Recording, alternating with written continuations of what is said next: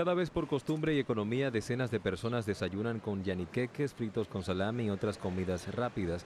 Algunos alegan que por tan solo 50 pesos pueden satisfacer su necesidad del primer alimento del día. No, lo que pasa es que esta fritura es una, una cosa demasiado deliciosa. eh.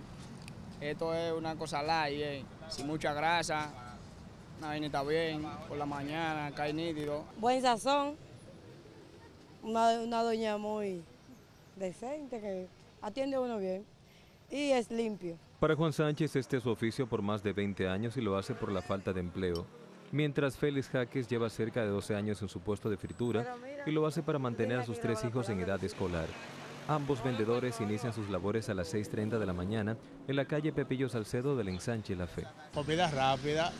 La gente se para con 50, 30 pesos, le bate el hambre por lo menos hasta las 12, a la 1. Me encuentro digno porque si, si, si en verdad no, no hay plaza para uno trabajar, ah, de, de algo te- tenemos que vivir. Los expertos en nutrición recomiendan la ingesta de frutas y vegetales en el desayuno porque le proporciona los nutrientes esenciales al organismo.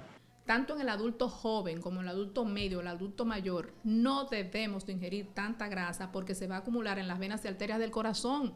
Entonces, eso es lo que forma en el lenguaje médico los ateromas. En el lenguaje sencillo, un pegote de grasa que se calcifica y tapa esa arteria. José Luis García, Informativos Teleantillas.